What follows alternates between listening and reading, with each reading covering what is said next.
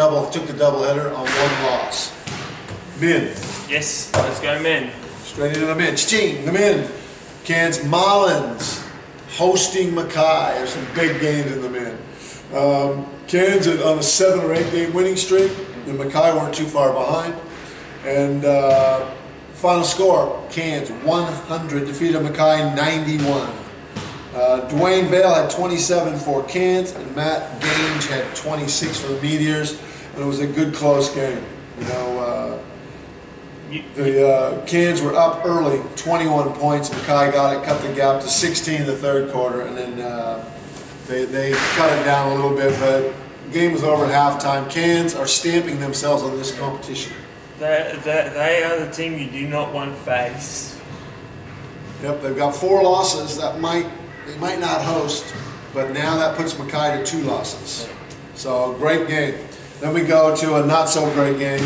Maroochydore hosting the Rockhampton Rockets. Maroochydore 63, Rockets 90. The 27 point victory to the Rockets. Travis Reed 28. Clippers player coach Gianni Constantello 17 points. Uh, sadly for Maroochydore, that was pretty much the result everyone expected. Yeah. And you've got to agree with that because uh, there's a daylight between the difference between both teams, and you know, Rockhampton will want to go into this um, two-way trip with both victories. Yeah, well, they want to get both, and uh, they've still only got one loss, Rocky, as of the print. Southwest hosted uh, Gladstone, and the Pirates got back on track. A big win, 83-72 over the Gladstone Power. And uh, Zach Silverman, 21 points. Kenny Barnes, 19. And uh, the Pirates got back on track, winning by 11. That was a game they had to win. Yes. And they did, so they're right in the thick of things for that second playoff spot. Every game they win, every game Toowoomba loses, puts it, and Gold Coast loses, puts it a little bit more in Southwest favor. Uh, Northside hosted Toowoomba, and uh, pretty much what you would have expected. Northside 93 uh, defeated the visiting Toowoomba Mountaineers 77. Um, it was Lewis Hurd 28 and uh, youngster ad hoc Mock Way put in a big match with Toowoomba 25 points. Never heard of this guy before. I've seen him play during the preseason. He's a good young African kid. African kid who can play point guard. Uh, uh, Toowoomba's been really inconsistent with their point guard play, and it's really hurting them at the end. Hopefully, they can find someone that can solidify the spot like they did with uh, Southwest and uh, Ryan Vines. Oh, sounds like he's a good young player. So then we go to Townsville in another big matchup. Mackay having suffered just their second loss the night before up in Kansas, that nine-point loss. Townsville, overtime, 109 defeated Mackay, 107 in overtime. And um, Mackay, they had to uh, hit a score at the buzzer to send it into overtime. Townsville led for most of the game. I see Townsville, Todd Blanchfield at a round high 38 points and 12 rebounds. Mick Cedar shot 33 points for Mackay. That's the, uh, that'll give loss number three to Mackay. Rocky sitting there on one loss as of that, as of that game. Um, and Cairns are on four losses, and I think Ipswich are on three losses. So that, that opened it right up, the whole competition. The thing that's scary is that Townsville lost two games versus Southwest and Gold Coast without three of their best players. If they had won those games against Southwest and Gold Coast, would they could have been in the thick of things too. Yeah, well, Four power's losses. in the north, there's no doubt. There is no power anywhere in the south.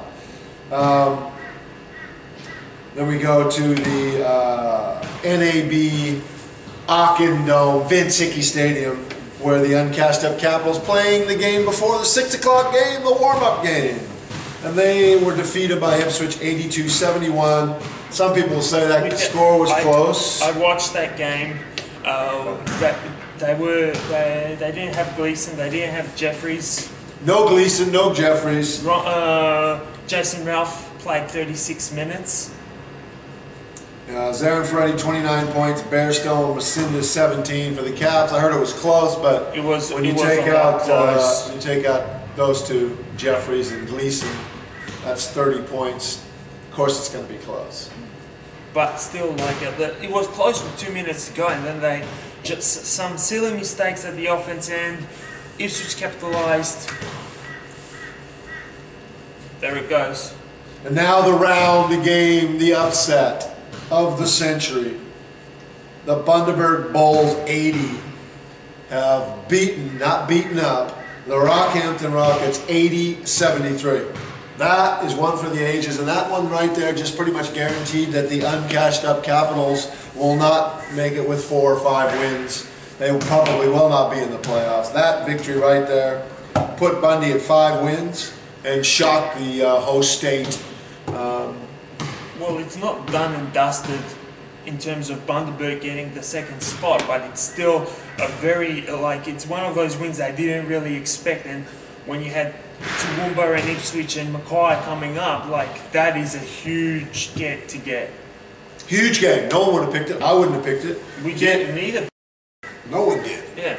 No one would have picked it. Bundy up there, you know, they, they've sacked the coach or he left and they got a new coach again. So it must work. All happy and rosy. Everything's all good and great in Bundy. So watch them storm through to the 2012 QBL Premiership. It does. It does help. Right. It does. it does help that Roderick Stewart is getting to some form too. Yeah. Yeah. Like I when you when you come a little bit unfit in the start of the season, like he was a lot more fitter, like a lot of the games that they lost, they could have possibly won. Like, neither one of their imports were fit at the start of the Yeah. season. I saw Shaq play here and he wasn't in shape either. They're in shape now, and Rod Stewart is class. Yeah. He's a classy got player, played at uh, USC and Kansas for God's sake. So Yeah. that tells you his uh, pedigree. The guy is a class player, knows his role well, you know. But um, you know, and Shaq, what do you have? 25 and 12 or something like that. 23 and 12. You know, Mitch Philp 29 and uh, you know Bundy. They really only got five, maybe six players, so it's not real hard to just rotate guys in. yeah.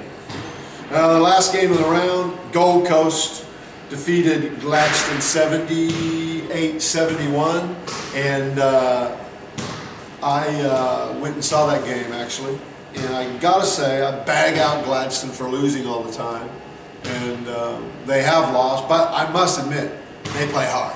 They have a crack. No Silverman. I don't know what was wrong with him. No Meyerding, and they gave it a roll. They were up at halftime. They shot the hell out of the ball, and they had a crack, but they're this tall. You know, to take Illa Baldwin out of the team, they've got no size. I was very impressed with Dale and Nikki and the boys there. Like, I don't know if they play that hard all the time, but with having two American-born players out, they impressed me. You know, Gold Coast won the game, yes, and I think they controlled it after halftime. They're pretty much the third quarter shut it down, but, but Gladstone came back. But Gold Coast problem is got too many players, man. Too many, too many cooks spoil the broth. You know, he's got 16 players down there. Some stage you got to decide on who eight's going to play for him. He has got talent, but he's trying to keep everyone happy. That's just my read on the game. But it was a big win for Gold Coast to keep their playoff hopes alive. But that's another good, uh, another player. Um, there's another guy like uh, Kevin Gaines, who's another pedigree class player. He played at Michigan State. Like he hasn't played for years, so uh, there is a lot of good talent in this league. And uh, I didn't expect Gladstone to win Gold Coast because Gold Coast is also at a must-win situation. You've Yeah. got keep, you've got to keep Southwest at bay, and uh, every win counts. Kevin Gaines is tough, goes to the basket, cannot shoot a lick. You know, if you're going to defend Kevin Gaines, give him a meter, take away his drive. The guy's tough, playing over, playing uh, undersized. He impressed me. Can't shoot, but he gets around the ring. He's 6'3 or whatever. Uh, yeah, he's good, but he's certainly not the player that he was before. I don't think. You know, because he's been God knows where for the last five years, but he's yeah tough. I like him. So upsets, few upsets. Townsville over Mackay, Rocky over Bundy, or Bundy over Rocky. Sets it all up, man. Now Rocky's got two losses, top of the ladder, but Bundy's or uh, Ippy's got three losses, Mackay's got three losses, and Cairns have four losses. Cairns are looming as the dark horses. And with God help,